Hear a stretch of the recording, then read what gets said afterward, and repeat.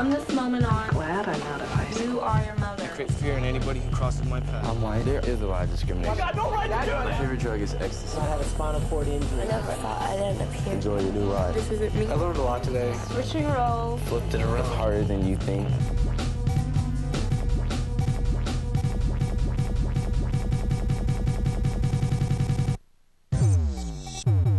Flipped. Welcome to the other side. Premieres Monday night at 10:30.